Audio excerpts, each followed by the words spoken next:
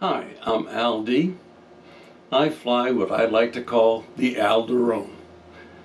It's a DJI Mini 2 and I'm having a lot of fun with it. But I had a problem with light reflecting off my phone all the time. So I created this little, I'm pulling it out of my case here, it folds up nice and flat and it is a collapsible sun shield. Okay, so here it is. It folds out flat. And you can see there's some Velcro sticker here, here, here, and here. And this attaches right to the controller. Let me show you that.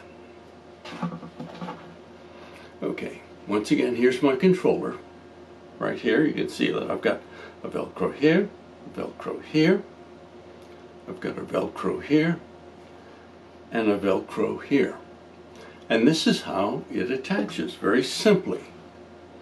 Lay it on a flat surface, take my sun shield, attach it this way, then I slide the sides around here. Simple as that, pure and simple. Let me get that in focus over here. There you go. There's my little sun shield, okay?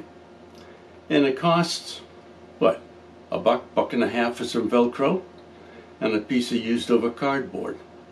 My prototype here, I happen to paint it flat gray, but you can use any color that you like. Gray is probably the best. There is a PDF in the text below, and it's a link to a PDF file that has everything you need to make a template. Two sheets of paper here. Now what I would suggest, fold one in half, put it down, tape it together, cut it out, and see if it fits your phone. If it fits your phone, cut it out on cardboard.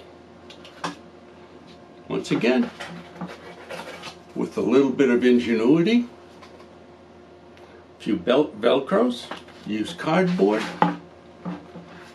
the Velcro on here. Now I must admit that I have the Velcro attached here, which is at 90 degrees different from what's over here. And I do that because it allows you much more flexibility in terms of how you want to position this. I've been using this for the past month and it's fantastic. Happy droning. This is Al D.